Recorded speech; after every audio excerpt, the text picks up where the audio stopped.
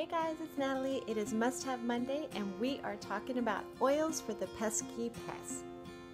Now, I went to a gardening with oils class on Saturday with my great friend and upline Manita Lakatos, and I am not a gardener at all. I don't like to garden. I like the fruits of the labor, but I don't like the labor part. Um, but I always love to learn, and so I went, and I'm glad I did because I did learn a lot. And so I wanted to share with you nine interesting ways that you could use oils in your garden. And of course, the first one is an insect repellent. Um, what I thought was really cool is rosemary oil is a great repellent for many types of pesky insects, including flies, fleas, and mosqui mosquitoes. Mosquitoes.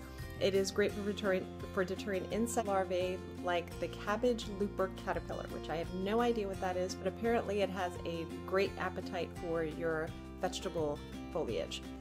And then the other oil that was in a lot of the recipes was peppermint oil.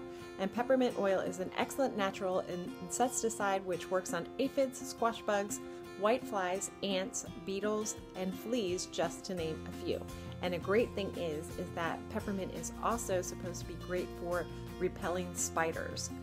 Um, thyme oil also works against biting insects such as jiggers, flea, uh, ticks, and roaches. I didn't know roaches bit. Oh, I didn't like that. And then clove oil is another great deterrent for many flying insects. And if you don't have clove oil, you probably have thieves, which thieves has clove in it. Uh, but to create a broad spe spectrum, all natural insect repellent, you mix equal parts of rosemary, peppermint, thyme, and clove oil, about 10, 10 drops each, into a spray bottle and fill it with water. And remember, you always shake it um, before you use it because the oil and the water don't mix very well and so you want to shake it before you use it. Uh, so number two, it can oils can help to suppress fungus. Uh, it says the cause of around 85% of all plant disease is fungus.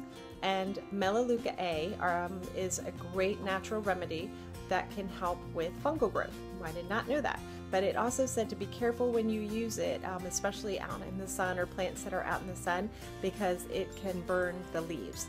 Um, and another great tip that we learned from our crossline Ruth on Saturday was that when you add a natural soap, like either your Thieves or Castile soap, to your mixtures and you spray it on your plants, it helps to keep the oil on your plants longer, which I did not know that. That, that was a great tip.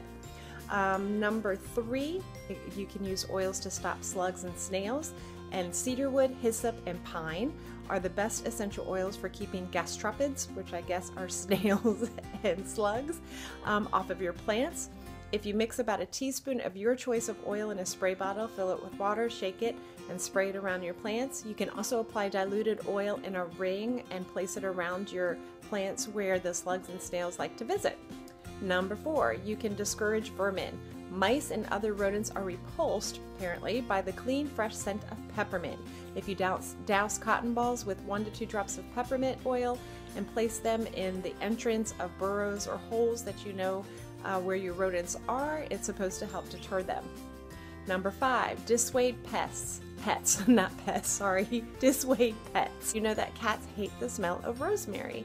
Uh, rosemary oil, if you dilute it and spray it on your plants or in the mulch, um, it's supposed to help to keep the to keep the pets away. And Manita was also sharing if you soak a cloth or a wool string in um, oil and water and let it soak in there so that the oil gets in there. You can hang it from your plants, hang it on planters and in between the rows of your garden, and that's supposed to also help to deter your pets and pests from getting inside your garden.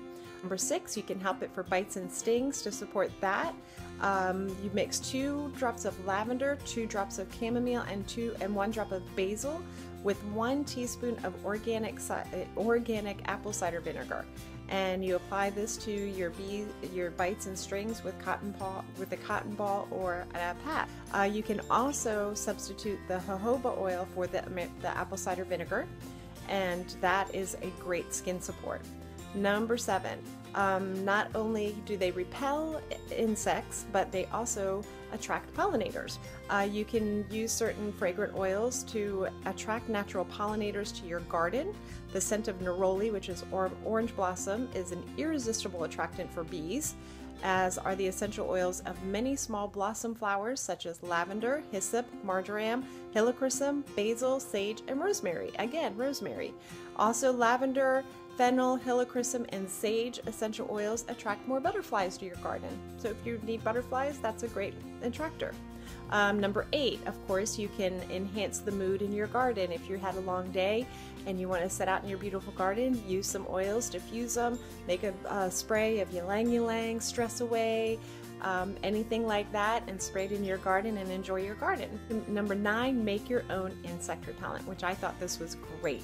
Um, I think it's great to put it in a little bottle so you can keep it with you when you go on play dates, to the playground, to the beach, to baseball games, um, anything like that. Keep it with you in the car and just spray it. And I think this is great for um, the natural insect repellent and it says you'll need a small glass spray bottle and fill it with about two ounces of water and one ounce of organic witch hazel. And again, you can substitute um, the witch hazel for the jojoba, which I did not know this, that jojoba oil is a natural insect repellent. Um, so you do about 10 drops of jojoba oil and um, then you pick your oils and there's three different categories and I'll put the recipe below um, but there's three different recipes and you're going to pick um, one or two from each section. And they say the big hitters which you're going to choose one or two and those are citronella lemongrass or eucalyptus which are all great. Peppermint of course and then garlic oil which i did not know that. So you're going to put one or two of those in your bottle and then you're going to pick one or two of these which is clove lavender or melaleuca which are great.